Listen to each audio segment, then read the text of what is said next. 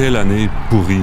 Plus de sport, plus de matchs. Ça, c'était en 2012, l'année de mon accident. 2020, c'est notre année pourrie à tous. Mais ensemble, on peut en faire l'année de la solidarité. La vie d'après, c'est aller de l'avant.